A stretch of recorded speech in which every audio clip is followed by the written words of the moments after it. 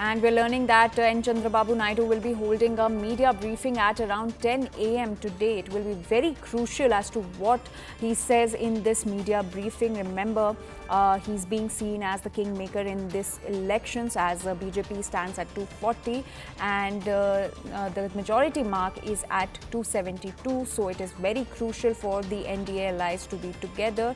And uh, CNN News 18 Swastika Das is now joining us with more details on this. Swastika, what can be expected in this media briefing of uh, Chandrababu Naidu?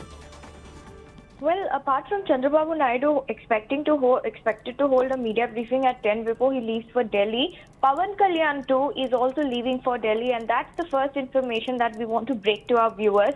As far as the meeting and the press conference is concerned, it's going to be uh, a general, and this is the first uh, press conference to be addressed by Mr. Chandrababu Naidu after coming to power with a sweeping majority. And what's also interesting is that he's also going to be facing a lot of questions on whether he will continue with the NDA or what's the, what are his demands. Him continuing with the NDA is no question of doubt because he has in fact assured the same uh, to the top brass of the BJP, and also the fact that the TDP itself has made it very clear that they are with NDA 100%.